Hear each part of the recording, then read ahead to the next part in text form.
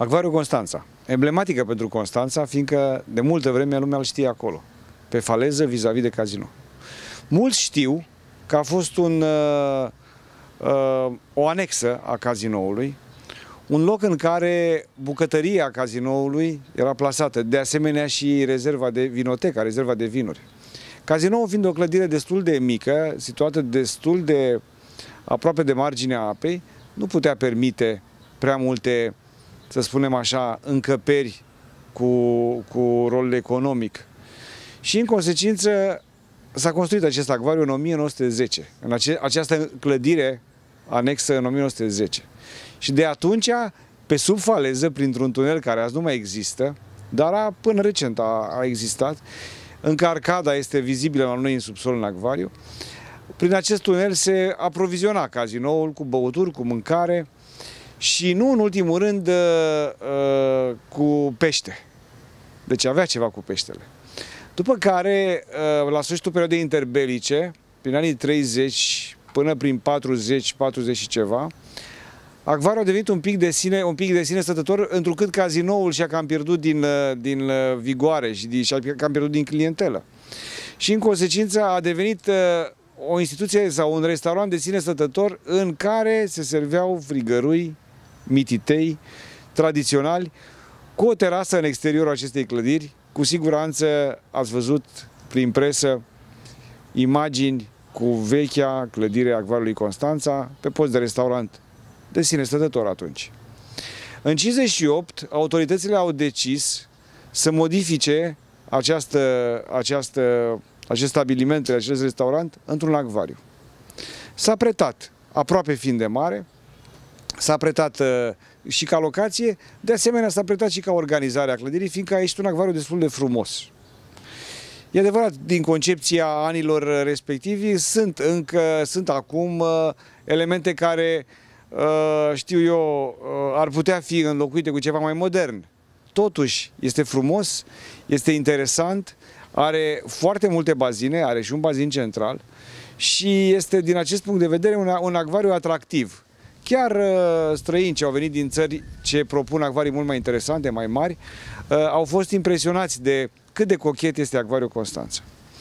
Acvariul Constanței a fost gândit uh, pentru a deține specii de la Marea Neagră, în particular, specii care să fie prezentate publicului altfel decât în, uh, în uh, galantare. Oamenii se vadă peștii înotând, mișcându-se. Din păcate, Marea Neagră este o mare rece, predominant rece. Și în consecință, peștii sunt criofili, adică iubitori de apă reci. E foarte greu să ții apă rece într-o clădire, din ce în ce mai greu pe măsură ce încălzirea asta ne afectează tot mai mult și pe noi. Și în consecință, Speciile native în ultimii ani au fost tot mai greu de păstrat, de ținut și din păcate eram nevoit să aducem să trăiască o lună, două luni, după care să moară. De exemplu, pisicile. Dacă vrei să răcești o apă într-un acvariu cald, într-un acvariu atât de cald, ai condens pe geamuri. Dacă vrei să primești mulți vizitatori, ai umiditate și umiditatea aduce condens pe geamuri ceea ce a făcut ca uh, să ne orientăm tot mai mult spre pești tropicali. Mai ușor de ținut. Este mai ieftin să încălzești decât să răcești o apă, este mai ușor din punct de vedere tehnic să usuci o clădire decât să o ții într-o umezeală, o clădire care, mai ales veche fiind, are elemente de structură afectate de vârstă. În consecință, am decis să trecem pe un acvariu mai uscat și pe specii tropicale de apă caldă, care mențin din punct de vedere fizic mai bine clădirea încă o perioadă.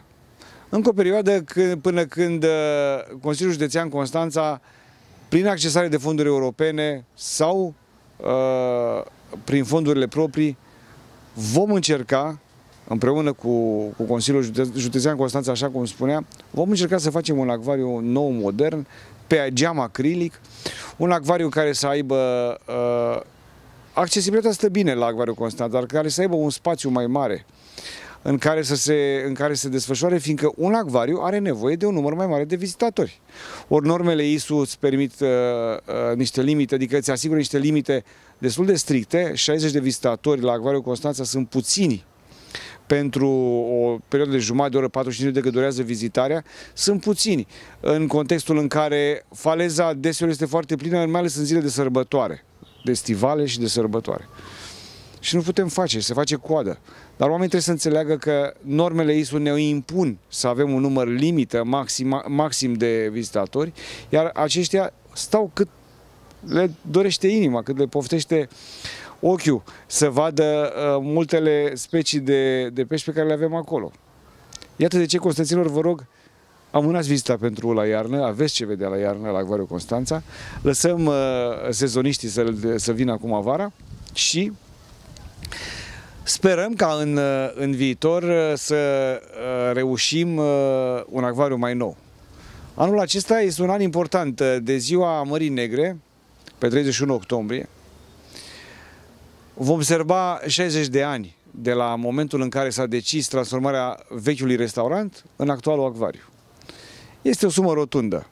Dincolo de centenar, dincolo de alipirea Dobrogei la țara mamă, uite, avem încă ceva de sărbat, noi Complexul Muzeal de Științe ale Naturii, respectiv transformarea unui restaurant într-un acvariu. Un acvariu emblematic, singur al Constanței, cel mai mare din România. Un acvariu care și-a a avut multe de spus la cei 60 de ani, a contribuit la educația copiilor, a tinerilor și care, probabil, va reveni cazinoului dacă se va găsi o soluție funcțională pentru, pentru restaurarea cazinoului, acvariu va trebui să revină cel mai probabil o clădire anexă a acestuia, fiindcă fizic nu poți construi în casino prea multe spații tehnice e nevoie și de clădirea actuală a acvariului. Iar noi, cu acvariu, în câțiva ani de zile, cu ajutorul Consiliului Județean, să ne mutăm într-un spațiu mai generos. Un spațiu unde să putem ține și specii de talie mare, unde putem aduce și rechin și pește lună, unde putem aduce animale pești mai interesanți. Chiar dacă ceea ce avem sunt interesanți, există totdeauna loc de mai bine. 60 de ani de funcționare, probabil mai funcționăm încă câțiva ani, după care un nou proiect E deja tema de proiectare la Consiliul Județean, un nou proiect, un nou acvariu, așteptați și o să vedeți.